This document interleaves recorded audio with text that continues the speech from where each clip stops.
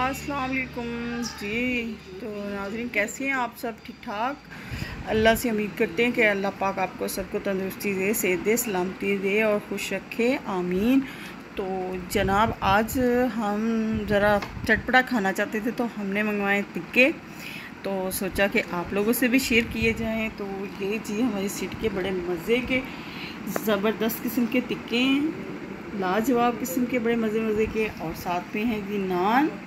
और साथ में है दही बड़े भले बड़े मज़े के, लाजवाब किस्म के और साथ में है ये चटनी और ये ग्रीन चटनी भी और इमली की चटनी और चटपटी सी खट्टी मीठी चटनी और ये दही की और साथ में ये है प्याज और ये ग्रीन चटनी है और ये पापड़ी इसमें डालने के लिए दही भल्लों में और साथ में जी आम।